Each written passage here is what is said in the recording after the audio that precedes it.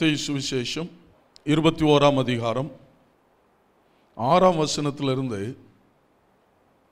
ஒன்பதாம் வசனம் வரைக்கும் நாம் வாசிக்கலாம். சீஷர்கள் போய் இயேசு தங்களுக்கு கட்டளையிட்டபடியே செய்து கழுதையையும் குட்டியையும் கொண்டு வந்து அவைகள் மேல் தங்கள் வஸ்திரங்களை போட்டு அவரை ஏற்றினார்கள். திரளான ஜனங்கள் தங்கள் வஸ்திரங்களை வழியிலே விரித்தார்கள். வேறு சிலர் மரக்கிளைகளை தரித்து வழியிலே பரப்பினார்கள். முன் நடப்பாரும் பின் நடப்பாருமாகிய திரளான ஜனங்கள் தாவீதின் குமாரனுக்கு ஓசன்னா கர்த்தரின் நாமத்தினாலே வருகிறவர் ஸ்தோத்தரிக்கப்பட்டவர் உன்னதத்திலே ஓசன்னா என்று சொல்லி ஆர்ப்பரித்தார்கள். இயேசு கிறிஸ்துடைய வாழ்க்கையில் நடைபெற்ற சில சம்பவங்கள் மட்டும்தான் நாலு சுவிசேஷங்கள்லையும் இடம்பெற்றிருக்கிறது அப்படி நாலு சுவிசேஷங்களிலும் இடம்பெற்றிருக்கிற சம்பவங்களில் ஒன்று இயேசு கிறிஸ்து எருசலேமுக்குள்ளே பவனியாய் வருகிறதான இந்த சம்பவம் அவைகளில் ஒன்றாய் காணப்படுகிறது. இயேசு கிறிஸ்து அவர் ஒளிவமலையிலிருந்து இறங்கி அவர் எருசலேமுக்குள்ளே பவனியாய் அழைத்து வரப்படுகிறார். நான்கு சுவிசேஷங்களில் மத்தையில் நாம் இப்போ வாசித்தது போல இருபத்தி ஒன்றாம் அதிகாரம் ஒன்றிலிருந்து பதினொன்று வரை உள்ள வசனங்களிலும் மார்க்கு சுவிசேஷத்தில் பதினோராம் அதிகாரம் ஒன்றிலிருந்து பதினொன்று வரை உள்ள வசனங்களிலும் லூக்கா சுவிசேஷம் பத்தொன்பதாம் அதிகாரம் இருபத்தி எட்டுலேருந்து நாற்பத்தி நாலு வரை உள்ள வசனங்களிலும் யோவான் சுவிசேஷத்தில் பன்னெண்டாம் அதிகாரம் பன்னெண்டுலேருந்து பத்தொன்பது வரை உள்ள வசனங்களிலும் இயேசு கிறிஸ்து எருசலேமுக்குள்ளே பவனியாய் வருகிற சம்பவம் குறிப்பிடப்பட்டிருக்கிறது. இதை மற்ற இருபத்தி ஒன்றில் வாசிக்கும் போது ஐந்தாம் வசனத்தில் தீர்க்கதரிசியினால் உரைக்கப்பட்டது நிறைவேறும்படி இதெல்லாம் நடந்தது என்று எழுதியிருக்கிறத பார்க்கிறோம். இயேசு கிறிஸ்துவின் வாழ்க்கையில் நடைபெற்ற எல்லா காரியங்களும் எழுதப்பட்டிருக்கிறபடி தீர்க்கதரிசிகளால் உரைக்கப்பட்டபடியே நடைபெற்றது.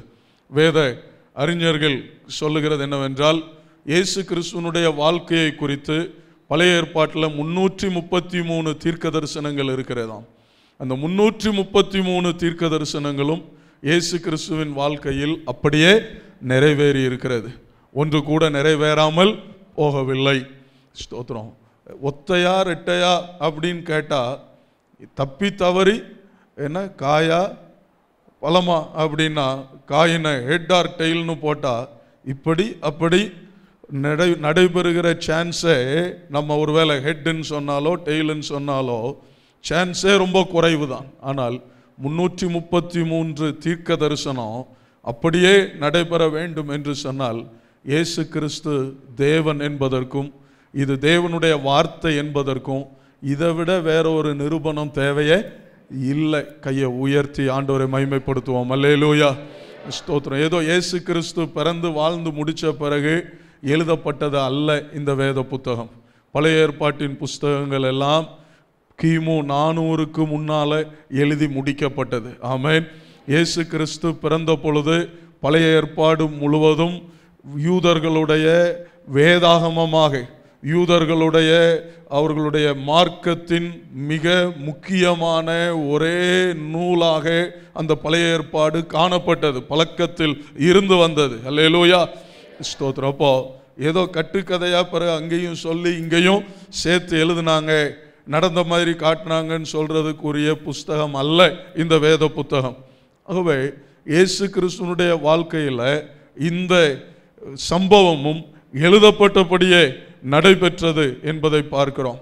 பழைய ஏற்பாட்டில் சகரியாவின் புஸ்தகம் ஒன்பதாம் அதிகாரம் ஒன்பதாம் வசனத்தில் அங்கே தீர்க்கதரிசி இனால் இந்த காரியம் உரைக்கப்பட்டிருக்கிறத நாம வாசிக்கிறோம். சியோன் குமாரத்தியே மிகவும் கலிகூறு எருசலேம் குமாரத்தியே கம்பீரி. இதோ உன் ராஜா உன்னிடத்தில் வருகிறார். அவர் நீதி உள்ளவரும் ரட்சிக்கிறவரும் தாழ்மை உள்ளவரும் கழுதையின் மேலும் கழுதை குட்டியாகிய மரியின் மேலும் ஏறி வருகிறவருமாயிருக்கிறார். என்று சொல்லி சகரியாவினால் உரைக்கப்பட்டபடி இங்கே இந்த சம்பவம் நடைபெற்றதை நாம் பார்க்கிறோம். இந்த ஞாயிறு குருத்தோலை ஞாயிறு பாம் சண்டே என்று அழைக்கப்படுகிறதற்கான காரணம் பெயர் காரணம் என்னன்னு சொன்னால் ஜனங்கள் என்ன செய்தாங்க? அவர்கள் குருத்தோலைகளை பிடித்து கொண்டு மரக்கிளைகளை தரித்து போட்டு இயேசு கிறிஸ்துவை அவர்கள் வரவேற்றார்கள் என்று சொல்லி நாம் பார்க்கிறோம். வஸ்திரங்களை விரித்தாங்க குருத்தோலைகளை பிடித்து ஆர்ப்பரித்தார்கள். ஆகவே இந்த ஞாயிறு குருத்தோலை ஞாயிறு என்று அழைக்கப்படுகிறது. அது மட்டுமல்ல தொடர்ந்து அவர் ஓய்வு நாளுக்கு முந்தின நாள் வெள்ளிக்கிழமை அன்றைக்கு சிலுவையிலே அறையப்படுவதற்கு உரிய காரியங்கள் எல்லாம் நடைபெறுகிறதன் தொடர்ச்சியாக இந்த நாள் இருக்கிறது. அதனால தான் இதை பேஷன் வீக் தேவ் அன்பின் வாரம் பேஷன் வீக் அந்த தேவ அன்பின் வாரத்தின் முதல் நாளாக இந்த ஞாயிறு காணப்படுகிறது. ஆகவே அந்த நாளை சபைகளில் நாம் நினைவு கூறுகிறோம். இயேசு கிறிஸ்து இஸ்ரவேலின் ராஜாவாக அவர் வந்தார். அவர் பிறந்த பொழுதே சாஸ்திரிகள் வந்து கேட்டாங்க யூதருக்கு ராஜாவாக பிறந்திருக்கிறவர் எங்கே? என்று சொல்லி கேட்டார்கள். அப்போ அவங்க வந்து ஏரோதின் அரண்மனையில் வந்து கேட்குறாங்க ஏன்னா ராஜா பிறந்தால் அரண்மனையில் தான் பிறக்க வேண்டும். ஆனால் ஏரோதுக்கு அதை பற்றியே தெரியலை. பிற்பாடு அவர்கள் நட்சத்திரத்தின் மூலமாய் வழிகாட்டப்பட்டு அவங்க அங்கே பெத்லகேமுக்கு போகிறாங்க. பெத்லகேமில் அங்கே முன்னணையில் கிடத்தப்பட்டிருக்கிற இயேசுவாகி அந்த குழந்தையை கண்டு அவர்கள் பணிந்து கொண்டார்கள் என்று பார்க்கிறோம். ஆகவே இயேசு கிறிஸ்து பிறந்த பொழுதே அவர் ராஜாவாக அவர் பிறந்தார். இப்போது இயேசு கிறிஸ்து ராஜா என்று குறிப்பிட்ட பொழுது அவர் உலகத்தை ஆளுகை செய்கிற மாம்ச பிரகாரமான ராஜா அல்ல.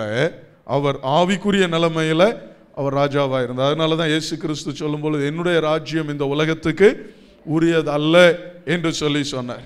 அன்றைக்கு ஏறோது சிறு குழந்தைகளை கொல்ல காரணம் என்ன? தன் ராஜ்யம் போய்விடுமோ என்ற பயம். அது மட்டும் கிடையாது.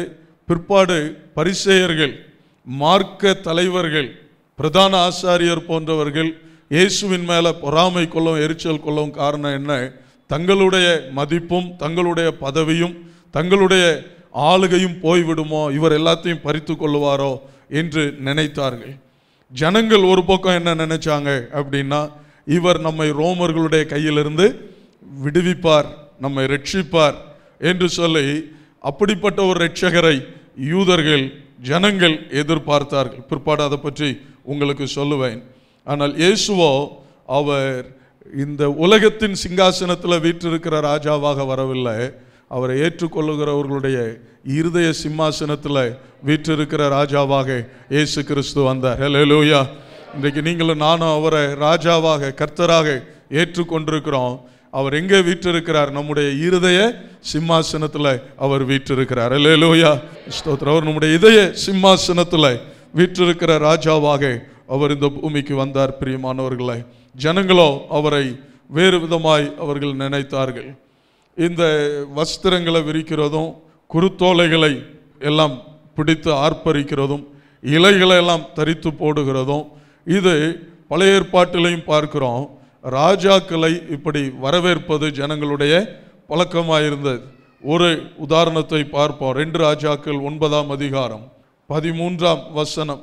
அப்பொழுது அவர்கள் தீவிரமாய் அவரவர் தங்கள் வஸ்திரத்தை படிகளின் உயரத்தில் அவன் கீழே விரித்து எக்காலம் ஊதி எகு ராஜாவானான் என்றார்கள் என்று பார்க்கிறோம். அப்போ வஸ்திரங்களை விரித்தாங்க. உடனே விரிக்கிறதுக்கு வேறு துணிகள் இல்லை. அப்போ தங்கள் வஸ்திரங்களை கலற்றி விரித்து அவர்கள் கனப்படுத்தினார்கள் என்று சொல்லி நாம் பார்க்கிறோம். ஆகவே இது ஒரு புதிய செயல் அல்ல. ராஜாக்களை வரவேற்கிறது அல்லது ராஜாவை ஏற்றுக்கொள்ளுகிறது. இவரை ராஜாவை நாங்கள் அங்கீகரித்து ஏற்றுக்கொள்ளுகிறோம் என்பதின் ஒரு நிகழ்ச்சியாக இந்த சம்பவம் காணப்படுகிறது. சரி இப்போ நம்ம இன்றைக்கு அதிகமாக இதில் நாம் கவனம் செலுத்த போகிறோம் என்றால் இந்த நாளில் இதற்கு முன்னாலே அன்றைக்கு இருந்த அந்த ஜனங்களை குறித்து பார்க்கும் பொழுது மூன்று தரப்பட்ட மக்களை பார்க்கிறோம். ஒன்று இயேசுவோடு இருந்த அவருடைய சீஷர்கள். இரண்டாவது பொது ஜனங்கள். மூன்றாவது மார்க்க தலைவர்கள். இவர்கள் இந்த மூன்று கூட்டத்தினுடைய நிலையும் அந்த குருத்தோலை ஞாயிறு அன்று எப்படிப்பட்டதாக இருந்தது என்றால் யோவான் பனிரெண்டாம் அதிகாரம் பதினாறாம் வசனத்தை வாசிக்கும் பொழுது அங்கே சீஷர்களை பற்றி நாம் பார்க்கிறோம். இவைகளை அவருடைய சீஷர்கள் துவக்கத்திலே அறியவில்லை. அறியவில்லை. இயேசு மகிமை அடைந்த பின்பு இப்படி அவரை குறித்து எழுதியிருக்கிறதையும் தாங்கள் இப்படி அவருக்கு செய்ததையும் நினைவு கூர்ந்தார்கள்.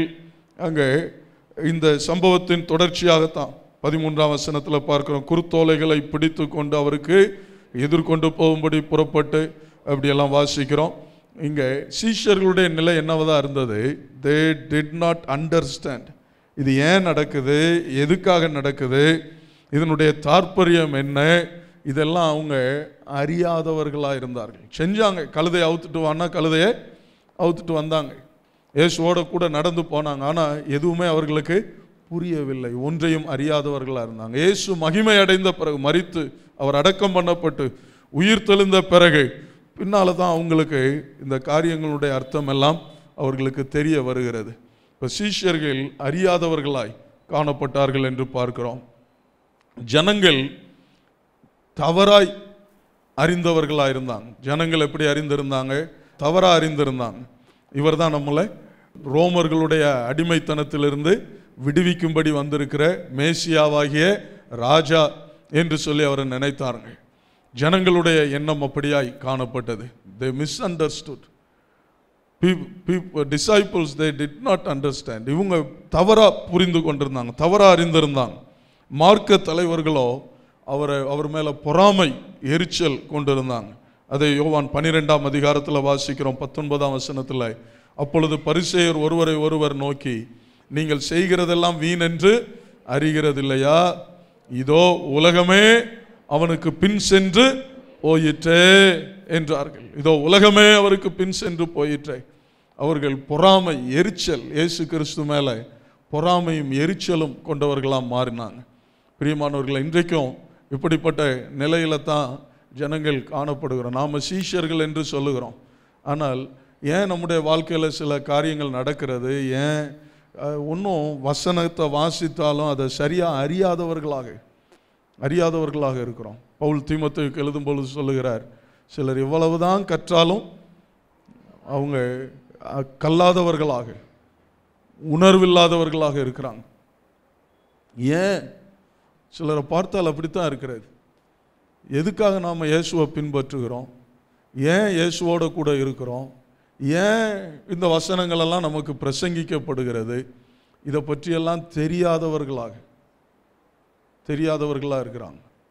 சில நேரத்தில் பார்த்தா அந்த வாலிபர்களை பார்த்தா தான் அப்படி பரிதாபமாக தெரியுது. இன்னைக்கு ஏன் நம்ம ஜெபம் பண்ணணும்?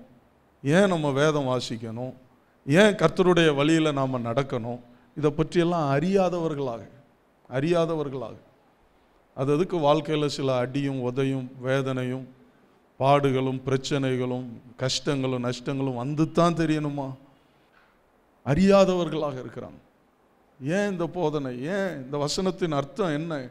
ஏன் பாஸ்டர் போட்டு இப்படி ஜெபத்துக்கு வா ஜெபத்தில் இருங்கடா இப்போ ஜெபம் பண்ணுங்கடா ஏ ஆண்டவரை பின்பற்றுங்கடா பைபிளை வாசிங்கடா. ஏன் இப்படி அடிச்சுக்கிடுறார்? அறியாதவர்களாக பேதைகளாக. அப்படித்தான் சொல்லணும். நீதிமொழிகளில் சொல்லி இருக்குல்ல பேதையான ஒரு வாலிபனை கண்டேன். அப்படித்தான் சிலர் பார்த்தா பேதைகளாக ஒன்றுமே அறியாதவர்களாக இருக்கிறாங்க. ஏன் தாய் தகப்பன் இப்படி அடிச்சுக்கிடுறாங்க நம்மளை போட்டு ப- செய்டா ஆண்டவரை பின்பற்றுடா நேசிடா கர்த்தருக்குள்ளே வாழ்டா. ஒன்றுமே அறியாதவர்களாக ஏன் என்னை போட்டு இப்படி தொந்தரவு பண்ணுறீங்க சிலருடைய கேள்வி இதுதான் இருக்கு. ஏசு கிறிஸ்து வா ஜோம் பண்ணு அப்படின்னு சொன்னால் போய் தூங்கி கிடக்காங்க இல்லையா? சீஷர்கள் அது போல தான் அறியாதவர்களாக. இன்றைக்கு சர்ச்சுக்கு வந்தும் ஒரு கூட்டம் அறியாதவர்களாக காணப்படுகிறாங்க. அன்றைக்கு எப்படி இயேசு கிறிஸ்துவ சிலுவையில் அறையும் என்று தீவிரம் காட்டினார்களோ அப்படிப்பட்ட நிலையில் இன்றைக்கு சந்திக்கிறோம். என கேட்கின்ற அருமையான தேவனுடைய பிள்ளைகள் இவர்களுக்கெல்லாம் கர்த்தர் பெரியவராக இருக்கிறார். ஆமேன். அதனால தான் நம்ம ஜெபத்தை அதிகரிக்கணும். ஆமேன். ஸ்தோத்திரம். இருக்கிற காலங்களுக்குள்ள எங்கெல்லாம் இன்னும் ஆலயத்துக்குன்னு இடம் வாங்க முடியுமோ எங்கெல்லாம் ஆலயத்தை கட்ட முடியுமோ அவைகளெல்லாம் செய்ய வேண்டியது நம்முடைய கடமை. ஆமேன். ஸ்தோத்திரம். திறவுண்ட வாசல் அடைப்படும் உன் நொறுங்குண்ட மனதாய் முன் செல்வோர் யார்? எல்லாம் அப்படி சொந்தமான இடங்களில் ஆலய கட்டிடங்களை கட்டி அப்படி ஆலய ஆராதனைகள் நடத்தக்கூடிய நிலைமையில் வீடுகள்லாம் எல்லாம் உள்ள நிலையெல்லாம் மாறி எவ்வளோ தூரம் சீக்கிரமாக நாம் செயல்பட முடியுமோ அப்படியெல்லாம் செயல்படுவதற்கு கத்தர் நம்ம கிருபை தருவாராக. அப்போது இப்படிப்பட்ட நிலையில் அன்றைக்கு இருந்ததை தான் இன்றைக்கும் நம்ம உலகத்தில் நாம் பார்க்குறோம். அறியாத கூடவே இருந்தாலும் அறியாத சீஷர் கூட்டம். இன்னும் இவைகளுடைய சீரியஸ்னஸ் எல்லாம் புரியாமல் எத்தனை கிறிஸ்தவர்கள் வாழுகிறாங்க இன்றைக்கு? இதை பற்றியெல்லாம் தெரியாமல் இன்னொரு பக்கத்தில் ஜனங்கள் தவறாய் புரிந்து கொண்டிருக்கிற ஜனங்கள். இயேசு ரட்சி அவர் நம்ம விடுவிப்பார்னு நினச்சாங்க. ஒரு வாரம் இல்லை அஞ்சாவது நாள் நாலாவது நாள் வியாழக்கிழமை ராத்திரி சொல்கிறாங்க இதே கூட்டம் ஓசன்னா சொன்ன கூட்டம் என்ன சொல்கிறாங்க சிலுவையில் அறையும் அப்படின்னு சொல்கிறாங்க இவர் எங்களை ரோமர்களின் அடிமைத்தனத்திலிருந்து ரட்சிப்பார்னு நினைத்தோம். ஆனால் இவரோ தன்னையே காப்பாற்ற முடியாதவராக இருக்கிறாரு. அவரை வச்சு என்ன செய்ய அவரை சிலுவையில் அறையும். இவரை விட பரபாஸ் எவ்வளவோ தேவலை. அவங்க கூட வீராப்பா சண்டை போட்டு ரோமர்களோட ஒரு அஞ்சு பத்து பேரையாவது கொலை செய்வோம். இவர் சிலுவையில் அறையும்னு சொல்கிறாங்க இப்போ அந்த உலகத்தின் ஜனங்கள் இப்படிப்பட்ட நிலையில தான் அவர்கள் தவறாய் புரிந்து கொண்டவர்களாக இருக்கிறாங்க.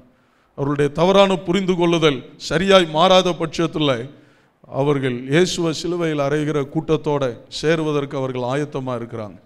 பிரியமானவர்களை சீஷர்களாகிய நாம் அறிந்து உணர்ந்து செயல்படுவோமாக. ஹலலோயா அன்றுடைய நாம மகிமைப்படுவதாக. ஒரு குறிப்பிட்ட வார்த்தை இந்த குருத்தோலை ஞாயிறோடு சம்பந்தப்பட்ட இந்த ஒரு வார்த்தையை உங்கள் முன்பாக இந்த நேரத்தில் வைக்க விரும்புகிறேன். இந்த வார்த்தை என்னவென்றால் நாலு சுவிசேஷத்துலையும் பார்க்குறோம். ஜனங்களும் சிறு பிள்ளைகளும் என்ன சொல்லி ஆர்ப்பரித்தாங்க? ஓசன்னா ஓசன்னா உன்னதத்தில் தேவனுக்கு ஓசன்னா ஓசன்னா ஓசன்னா க்ளோ இன் த ஹையஸ்ட் உன்னதத்தில் தாவீதின் குமாரனுக்கு ஓசன்னான்னு சொல்லி ஆர்ப்பரித்தார்கள் என்று பார்க்கிறோம். கவனிங்க என்ன? அந்த ஓசன்னா என்கிறதான அந்த வார்த்தை அந்த ஓசன்னாங்கிற வார்த்தை என்னுடைய பொருள் என்னவென்றால் அந்த வார்த்தை வந்து கிரேக்க வார்த்தை. புதிய ஏற்பாடு எதில் எழுதப்பட்டது? கிரேக்க மொழியில் எழுதப்பட்டது. அது கிரேக்க வார்த்தையாக இருந்தாலும் அதனுடைய ரூட் வேர்டு அந்த வார்த்தை ஓசன்னாங்கிற அந்த கிரேக்க வார்த்தை எங்கேருந்து வந்ததுன்னு சொன்னால் எப்ரேய மொழியிலிருந்து தான் வந்திருக்கிறது. அந்த எப்ரேய வார்த்தை என்னவென்றால் ஹோசியானா அப்படிங்கிற வார்த்தை எப்ரேய வார்த்தை ஹோசியானா. அதிலிருந்து தான் கிரேக்கத்தில் எழுதும் பொழுது அந்த வார்த்தையை அவர்கள் ஓசன்னா ஏறக்குறைய க்ளோஸாக அந்த உச்சரிப்பு இருக்கக்கூடிய நிலைமையில் ஓசன்னா என்று எழுதியிருக்கிறாங்க.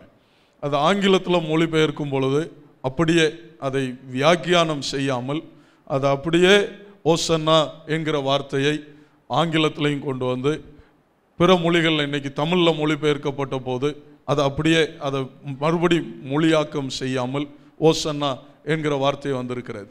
அப்போது முதல்ல மூல வார்த்தை என்னவென்றால் எபிரேய மொழியில் வருகிற ஓசியானா என்கிற வார்த்தை தான் அதனுடைய அந்த மூல வார்த்தை. அந்த வார்த்தை பழைய ஏற்பாட்டில் எங்கே வருகிறது என்று சொன்னால் நூற்றி பதினெட்டாம் சங்கீதத்தில் இருபத்தி அஞ்சாம் வசனம் இருபத்தி ஆறாம் வசனத்தை வாசிப்போம்னு சொன்னால் கர்த்தாவே ரட்சியும் கர்த்தாவே காரியத்தை வாய்க்க பண்ணும். கர்த்தருடைய நாமத்தினாலே வருகிறவர் ஸ்தோத்தரிக்கப்பட்டவர். கர்த்தருடைய ஆலயத்திலிருந்து உங்களை ஆசீர்வதிக்கிறார். அதில் அந்த முதல் பகுதி. வசன பிரிவுகள் எல்லாம் பிற்பாடு தான் அந்த நம்பர் போட்டதெல்லாம் பதினாறாவது நூற்றாண்டுக்கு பிறகு தான் அந்த நம்பர்லாம் போடப்பட்டது. இது சங்கீதம் என்று சொன்னால் அப்படியே ஒரே பத்தியாக தான் அதெல்லாம் எழுதப்பட்டிருந்தது. இந்த வசனத்தை சரியாக அப்படி பிரிச்சிருந்தா எப்படி பிரிச்சிருக்கணும்னா கர்த்தாவே ரட்சியும் கர்த்தாவே காரியத்தை வாய்க்க பண்ணும் கர்த்தருடைய நாமத்தினாலே வருகிறவர் ஸ்தோத்தரிக்கப்பட்டவர். இதுதான் ஒரு வசனமாக இருந்திருக்கணும். இதுதான் அதனுடைய பொருள். அந்த ஓசியானா என்கிற வார்த்தை என்னுடைய பொருள் என்னவென்றால் கர்த்தாவே ரட்சியும். லார்ட் சேவஸ் கர்த்தாவே எங்களை என்ன செய்யும்? ரட்சியும் என்று தான் என்பது தான் அந்த ஹோசியானா என்கிறதான அந்த வார்த்தையினுடைய பொருள். ஆமென். ஸ்தோத்திரம். கர்த்தாவே ரட்சியும் உதாரணத்திற்கு ஒரு மலையில் போய் உயரமான முகட்டில் நின்று அப்படி நண்பர்களாகவோ சிலராக நின்று பார்த்துட்டு இருக்கும்போது திடீர்னு ஒருத்தனை பிடிச்சி மேலேருந்து கீழே தள்ளி விட்டா அவன் என்ன சத்தம் போடுவான்? ஐயோ அம்மா காப்பாத்துங்க அப்படின்னு சத்தம் போடுவான் இல்லையா? அப்படிப்பட்டதான ஒரு கூக்குரல் தான் என்னது? ஓசன்னா கர்த்தாவே ரட்சியோ! என்று கூப்பிடுறது. ஆண்டவா காப்பாத்து! அப்படின்னு கூப்பிடுறது தான் அந்த ஓசன்னா என்கிறதனுடைய அந்த அர்த்தம். ஓசியானா என்கிற அந்த வார்த்தையினுடைய அர்த்தம். ஆனால் பிற்பாடு என்னவா அது மாறிடுச்சு மாறி வந்தது என்று சொன்னால் இங்கே அந்த வசனத்தின் பின்பகுதி என்ன கர்த்தருடைய நாமத்தினாலே வருகிறவர் ஸ்தோத்தரிக்கப்பட்டவர் அப்படின்னு சொல்லி இருக்கிறது அல்லவா? அப்போ அப்படி கீழே போகும்போதே மேலே இருந்து ஒருத்தன் பொத்துன்னு கீழே விழுறான். விழும்போது ஆண்டவா காப்பாத்து கர்த்தாவே காப்பாத்துன்னு சொல்லும் பொழுது அப்படியே பார்க்குறான் சைடில் அங்கே இன்னொரு நபர் அப்படி பாராச்சூட்டில் வந்து அப்படி இறங்கி அவரை என்ன செய்கிறார்? தாங்கி பிடிக்கிறார். அப்போ ஏசப்பா ஸ்தோத்திரம். நன்றி. கர்த்தாவேன்னு கூப்பிடுற அந்த கதறுதல் என்னவா மாறுது. உதவியை பார்த்த உடனே எனக்கு ரட்சிப்பு வந்துருச்சு. என்னை கூப்பிடுற சத்தத்தை கேட்டு எனக்கு உதவி கிடைச்சிருச்சு அப்படிங்கிறத பார்த்த உடனே ஆண்டவரே உமக்கு ஸ்தோத்திரம் அப்படின்னு சொல்லி அது அப்படி போய் முடிகிறது. அல்லேலூயா சொல்லுவோமா? ஸ்தோத்திரம். இந்த ஜனங்கள் ஆரம்பத்தில் அப்படிதான் கர்த்தாவே ரட்சியும். பின்னாட்களில் புதிய ஏற்பாட்டில் வரும் பொழுது அது எப்படி வந்தது என்றால் அது ஒரு ஜெய கோஷமாக மாறிடுச்சு கர்த்தாவே என்ன ரட்சியும் எனக்கு உதவி வந்துருச்சு அதுக்காக உமக்கு ஸ்தோத்திரம். ஸ்தோத்திரம். கர்த்தர் எனக்கு ஒத்தாசை அனுப்பிட்டார் அதற்காக ஸ்தோத்திரம் என்பதாக அந்த அதனுடைய அந்த பொருள் அப்படி தெரிந்து அதனுடைய ஒரு ஜெய கோஷமாக ஒரு எக்ஸ்க்ளமேஷனாக ஒரு கோஷமாக ஜெயமாக அது மாறிவிட்டது. அதைத்தான் இங்கே இவர்கள் பயன்படுத்துகிறாங்க.